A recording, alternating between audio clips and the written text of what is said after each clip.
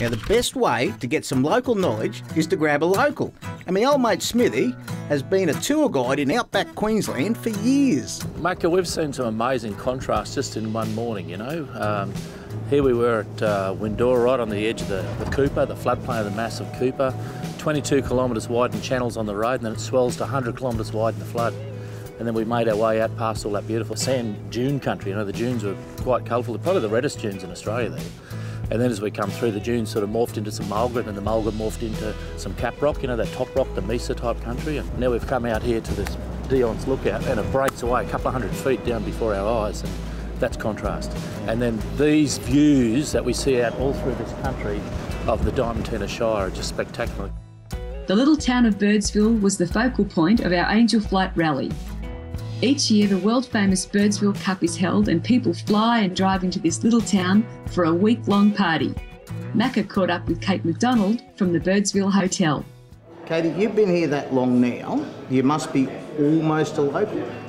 I would hope so. Yeah, yeah. No, I've been here nearly eight years. Eight years. Where was home for you? Southern New South Wales, West Wyalong. This will be home now. I don't know. You don't know. Yeah, take every year as it comes. Came for six months and been here seven and a half years. So it must grab you pretty quick and hold you, does it? Yeah, it does. Yeah, I suppose it's the small communities, the um, different tourists that you see all the time. Every day is different. There's never one year or one day that's exactly the same as the next. It's yeah, variety. That's great. Keeps you here. One of the things I noticed was that the airport is just stepped up. You know, new buildings, fences, a bitumen runway. Yeah, yeah. The Diamantina has put a fantastic effort into um, having what we've got, and it's fantastic. So now we've got two flights a week, which we have had in the past out of Brisbane, um, and then it returns twice a week back to Brisbane. Are tourists grabbing a hold of that and flying out for a look? Yeah, they are. Yeah, the people that don't want to drive out here don't want to bring their caravans um, that aren't into four-wheel driving. Yeah, they use it as an opportunity to get out here. The other one that caught my eye is you've got a, a, meter on the wall that's recording how much solar power you're using at the moment, getting a bit high tech, a bit green. What's the story behind that one? Yeah, um, we had solar panels um, installed, gee, time goes now, three and a half, four years ago.